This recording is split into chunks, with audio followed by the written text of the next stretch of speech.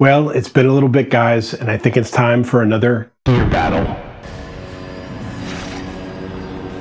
Today we're going to take a look at two different software solutions for getting a wide array of guitar sounds, and that is Neural DSP and STL Tonehub.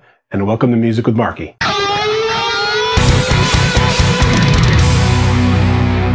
Anyone who knows this channel knows that I use the Axe-Fx 3 and the Kemper pretty extensively to get my sounds, and those are a couple of pretty expensive units. So what if we want to get some good modeled guitar sounds without breaking the bank?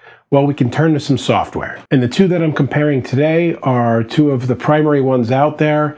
They both offer amp and cab simulations and have a wide array of stomp boxes that get plugged into it as well. With STL Tonehub, you have a base core software package that comes with a bunch of uh, sounds plugged into it already, and that costs 199 right now and you can get a bunch of different artists and sound packs for around $49 each. With Neural DSP, you don't have a core software, but you're buying each pack individually as its own kind of standalone plugin, and they have a bunch of stuff from artists as well. They run from like 119 to about 159. So what I want to do is give you a side-by-side -side comparison and a mix and a little MIDI song here, the same way I kind of do it when I compare the Axe-Fx and Kemper.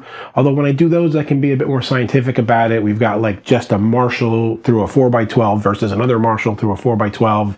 The way these two software packages are put together, it's not really easy to do that. You can find the amps and dial in the sounds and get the plugin that uses that amp, but these are really more about selling artist presets and so that's really what I want to look at here. And I downloaded a couple of different artist presets, uh, one from Andy James for the STL Tonehub because he's one of my favorite players and I love his sound. And the other one I grabbed is Plini's pack with Neural DSP, another guy who's a fantastic player and has some great tones and affected sounds.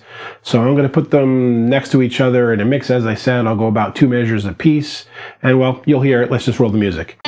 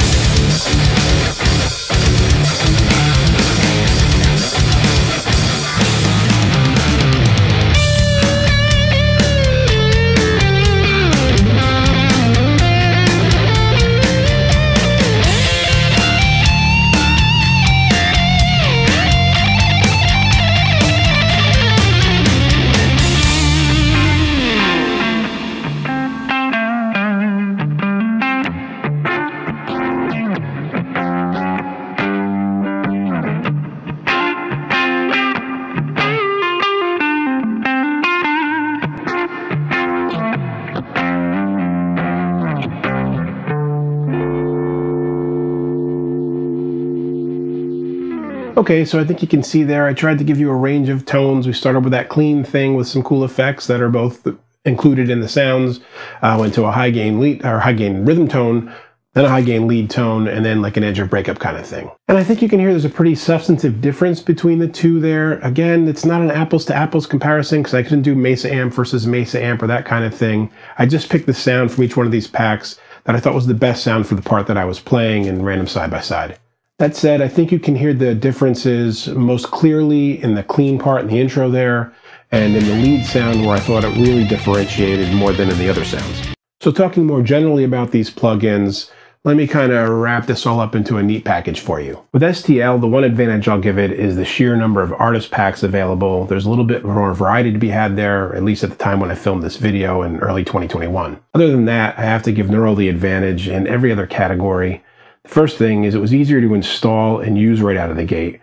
With STL, even with a free demo, I had to plug in the reg key into iLok before it would even show up once I installed it. With Neural, I just installed it and it was good to go. Uh, I also had an issue with STL as a studio plugin where it was defaulting to mono and the UI was so small on my 4K screen that I didn't notice at first and was wondering why all my lush reverb sounds that I wanted were so lame sounding and one dimensional. I had to find that little button and change it on every track I needed the stereo effects for. The second thing is the quality of the Stompbox effects themselves. On Neural, I just found it to be flat out better. The ones I tried thus far in STL anyway were really kind of meat and potatoes, and I just didn't have all that depth and quality to match what I saw in Neural DSP with their stomp boxes. And speaking of depth, the third thing, uh, the Neuralamp and cab models feel much more three-dimensional to me than do the STL ones. You got a sample of it there in the mini song, and of course they offer free demos of any of the sound packs so you could go through and hear guitar-only tracks and play through it on your own. So there's my thoughts in comparison. For my taste anyway, Neural DSP was pretty much the clear winner on almost every front here. And I should be clear as well that uh, I am not paid in any way and not endorsed by either one of these companies. I wasn't even sent any of the software for free. I just used the free demos. And I'm just some mook who downloaded it like anybody else and put together a comparison video for you. And in any case, I hope that comparison was helpful when you're looking at making a decision between one or the other.